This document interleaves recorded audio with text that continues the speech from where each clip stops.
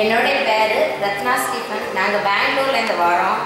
நாலு மாதத்துக்கு முன்னாடி நான் இங்கே வந்திருந்தேன். வந்தப்போ ப்ரேயர் பண்ணிட்டு இருந்தேன். அப்போ ஃபாதர் வந்து சொன்னார் உங்களுடைய உடலில் இருக்கிற எல்லா உறுப்புகளையும் ஒப்பு கொடுங்க அப்படி ஒப்பு கொடுத்து ப்ரேயர் பண்ணும்போது ஒன்பது வருஷமாக எனக்கு உடம்புல இருந்த கால் வலி எவ்வளவோ மருந்து சாப்பிட்டு தீராத கால் வலி அன்னைக்கு தீர்ந்தது. அன்னைக்கு நான் சொர்க்கத்தை பார்த்தேன் அதுக்கு பிறகு நாலு மாசமா எந்த கால்வலியும் இல்லாமல் நான் நல்லபடியாக இருக்கிறேன் இதற்காக நன்றி ஒரு கருத்து நன்றி. மக்கள் அனைவரும்